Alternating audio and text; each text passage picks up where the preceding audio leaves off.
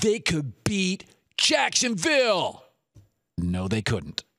Jacksonville has all NFL players. Bama's got like 12, maybe 18.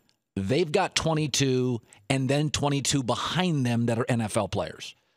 In college basketball, Kentucky's really good. We go find the worst NBA team. Kentucky could beat the Knicks. The Knicks would destroy that Kentucky team full of 18 year olds. They would physically destroy them. Dana White came on our show not long ago and said, Ronda Rousey, if she fought Floyd Mayweather, Rousey would destroy him.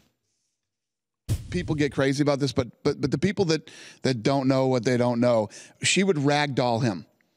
First of all, have you ever seen Floyd Mayweather? He's about this tall, okay, and she would ragdoll him as soon as she put her hands on him. And then everybody talks about Floyd knocking her out. How many people does Floyd actually knock out? Okay, Ronda Rousey, who would ragdoll Floyd Mayweather, was destroyed by a five foot seven and a half, 134 pound woman this weekend. Can we stop it? Serena Williams is not beating a single man. Not, there's not a guy in the country in the ATP top 100 that's not beating Serena soundly.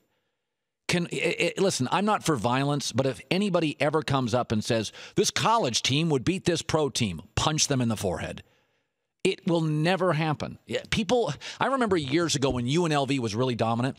Remember the UNLV team like 91, 92, Larry Johnson, Stacey Augmon, Greg Anthony. I mean, it was like one of the great college teams of all time, the running Rebels, right? And everybody was like, they beat the Sacramento Kings because Sacramento at that time was awful. I'm not even sure, Kristine, if you were, you were like, like uh, seriously, you could have been four years old, but Sacramento for a long time, they had Wayman Tisdale. They were awful. But if you looked at Sacramento's roster back then in like 1991, it was all NBA guys and it was all college All Americans. That great UNLV team, Larry Johnson had a very nice NBA career, and Greg Anthony and Stacey Augmon were okay. Nobody else made the NBA. Anderson Hunt, David Butler, George Ackles, Moses Scurry, eh, eh, didn't make it. We got to stop this. Every male fighter is going to be able to beat if they're a professional, a female fighter. I, am not talking about you or me on the street, but Ronda Rousey was destroyed by a 134 pound woman. She's not ragdolling the, the, a boxing champion who has dominated his weight division like nobody in the history of the sport.